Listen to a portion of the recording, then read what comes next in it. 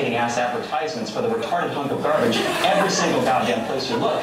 Sony is expecting it to become the next fucking gizmo you absolutely have to fucking own if you don't want to feel like a toothless hillbilly living in some hillbilly shack somewhere. I love bullshit like this. I, basically, I'll buy any goddamn thing that I see in an ad. The fucking piece of shit is available now. So run out and pick one up and invite all of your friends over to see if any of them can figure out this motherfucking time vampire. Unless one of them rocket scientist, Sony pretty much guarantees they'll have no chance.